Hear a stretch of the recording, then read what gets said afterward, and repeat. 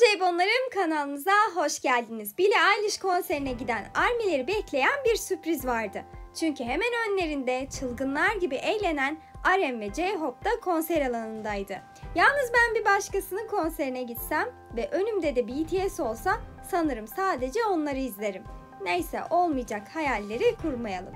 Öte taraftan hayranların çektiği videolarda J-Hope'un elinde de kamera kendilerini çektikleri anlar vardı. Allah'tan çok bekletmeden hemen o fotoğraf ve videoları da paylaştılar.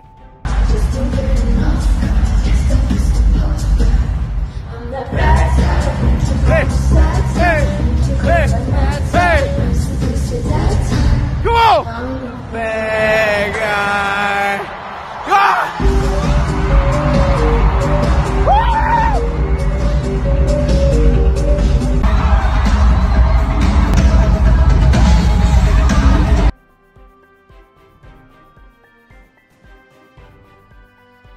Özellikle bu Bad Guy'daki coşmaları harikaydı.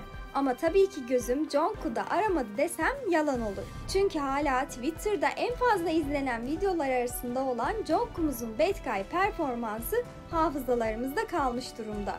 Seul'de ayağına kadar gelmiş Billie Eilish'in konserine gitmemesini aklımda almadı.